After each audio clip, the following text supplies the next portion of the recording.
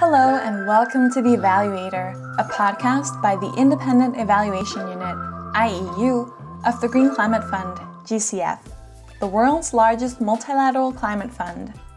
The IEU aims to conduct evaluations that will help make the GCF faster, smarter, and better.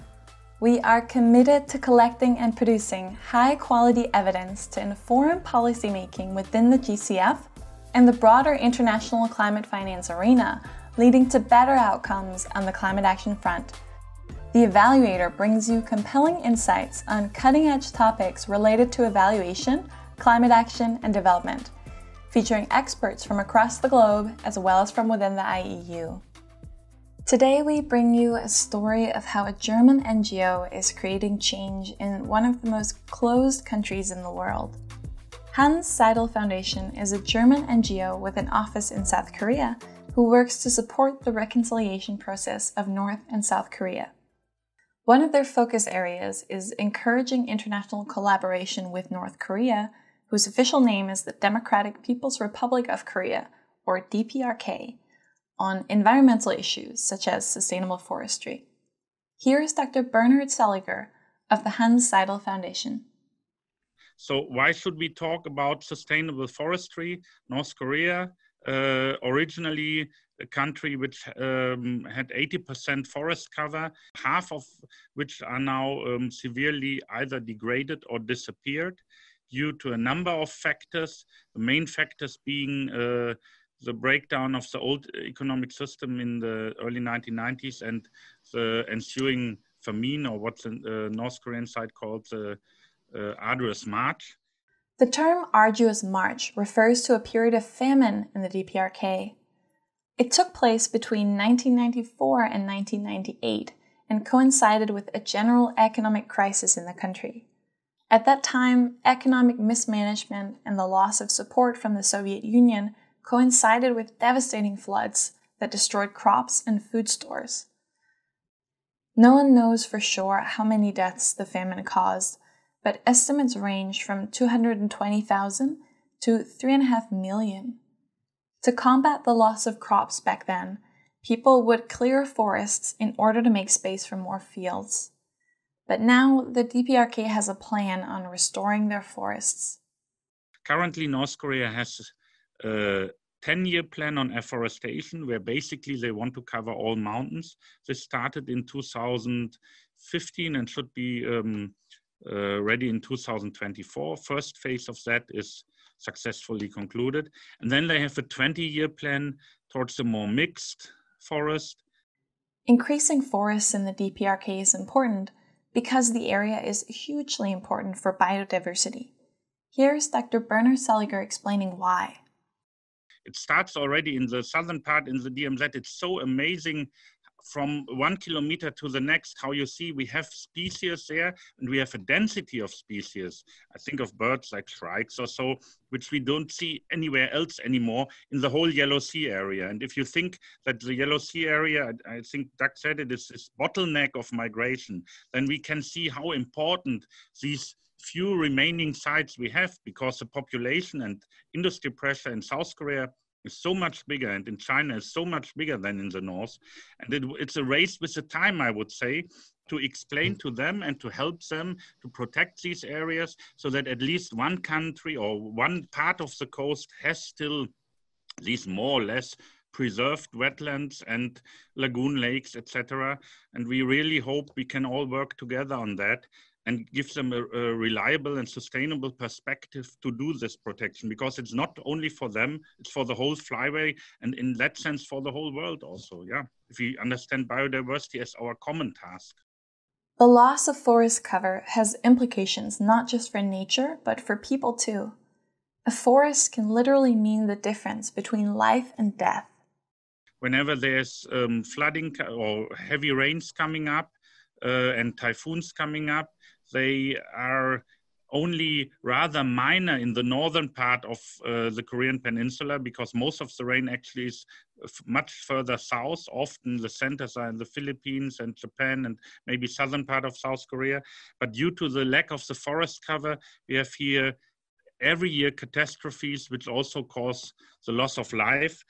And we had a village here north of Sombong, and you see a um, satellite image from before the flood and after the flood.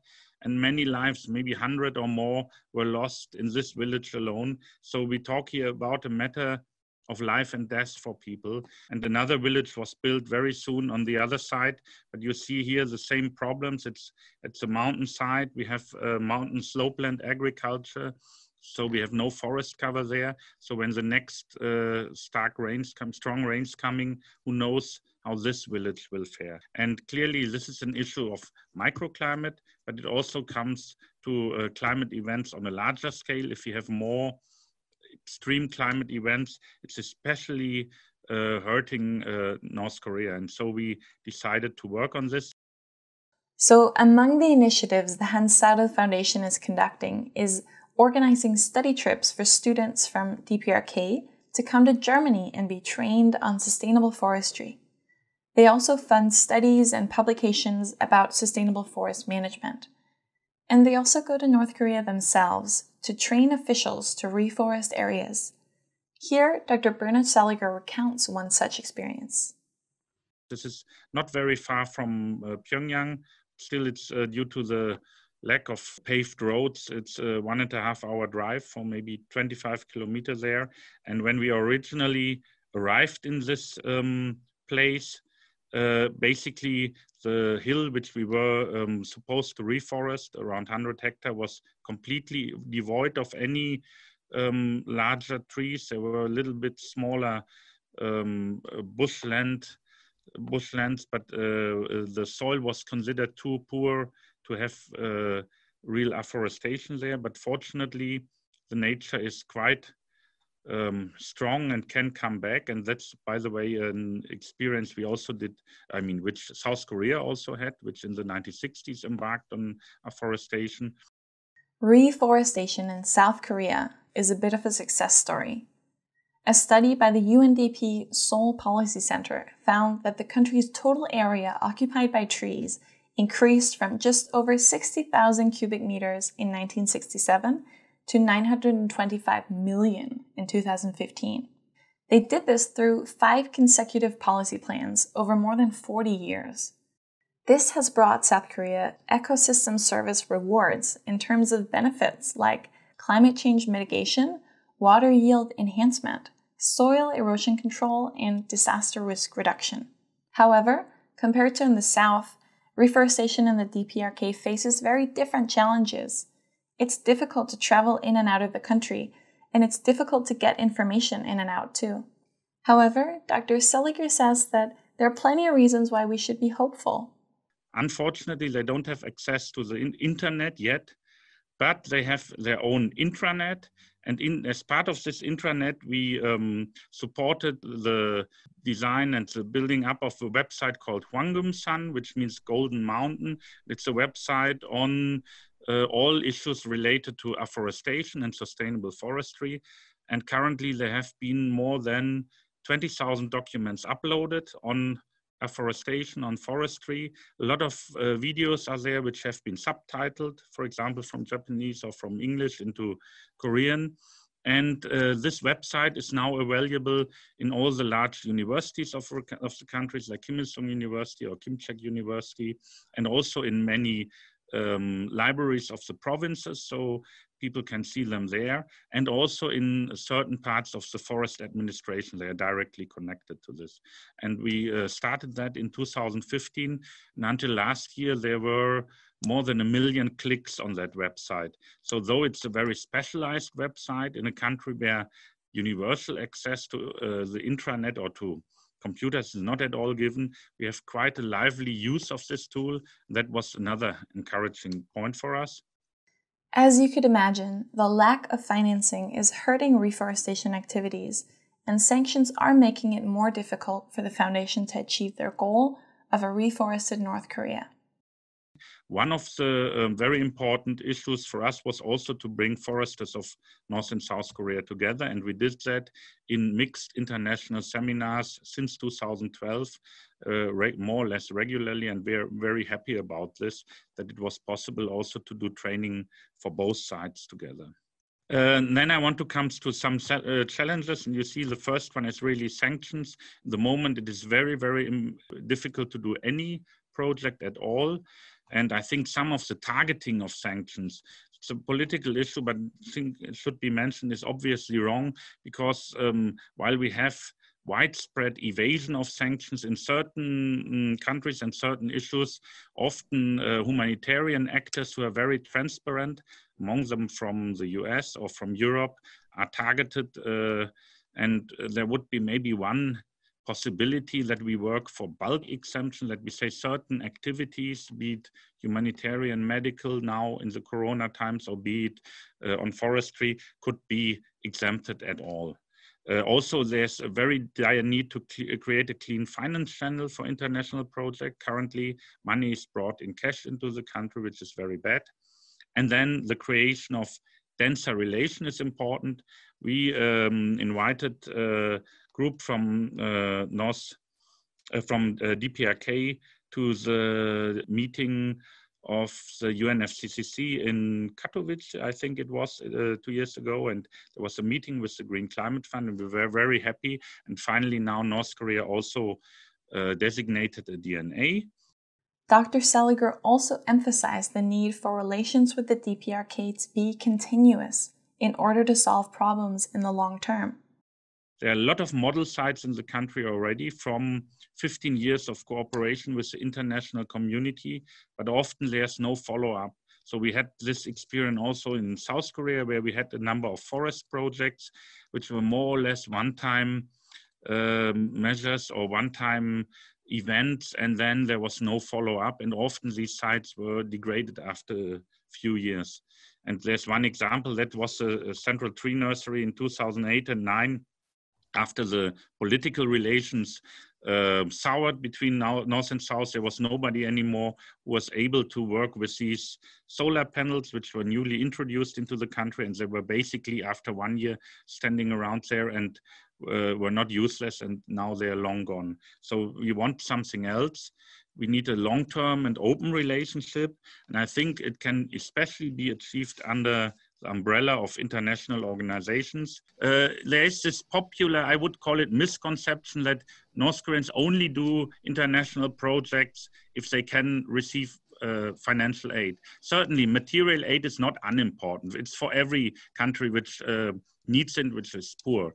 But we see a number of issues where we clearly can say they have a genuine interest in developing their own ideas, which are non financially motivated, which are partly motivated maybe by a greater integration into normal political relations with the international community, and also, I think, which are motivated by a genuine interest in biodiversity and protecting, you could call it the treasures of their own country. It is part of their policy, and I think uh, that makes our work with MoLEP, with the Ministry of Environment, so great that we don't uh, feel they're used only or that this policy is something like a, a pretext only to to gain access to resources, but it's really a policy which is very very sincere, and and that makes working together also uh, uh, yeah a lot of fun.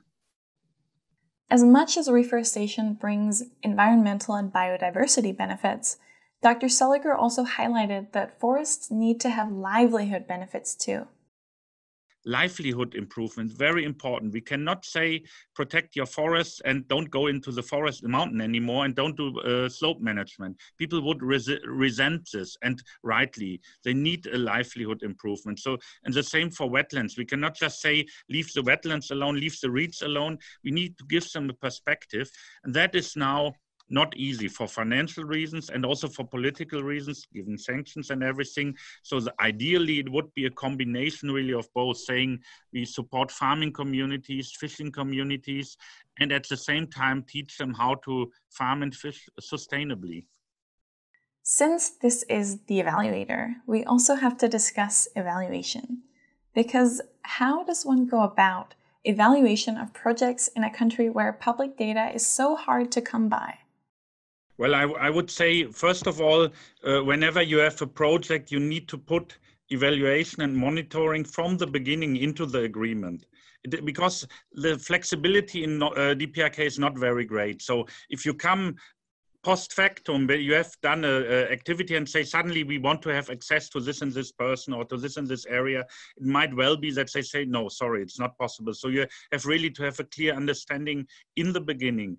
Then i would say once they accept it it is very good. They really stick by it and try to fulfill uh, the spirit of, of, of an agreement. Second point to show them international examples, not to single them out and say, because we are in DPRK, or not giving them the feeling maybe to say, we have to control you, we have to, I mean, there are a lot of difficulties, you know, with money flows, with sanctions, etc. But to give, to show them also for example, through international projects to say this is normal, and that can be water bird monitoring, it can be uh, monitoring of forest development, or it can be remote sensing. We brought them a lot of examples how it is done in other countries, and then they accepted it. Or I remember for the CDM projects, which we did around 2010, for many years they said we cannot really do that put all the information on very sensitive things like our electric grid on the internet but finally they could do it. And you find still six or seven projects are registered under the UNFCCC with data which you cannot find for any other um, project that were hydropower project mainly, uh, mainly in that country. So they do accept it if they see it's an international obligation rather than singling out them. There you have it. We hope you enjoyed this episode of The Evaluator by the Independent Evaluation Unit of the Green Climate Fund. We'll be back with more insights that matter for the evaluation and climate action communities, so stay tuned.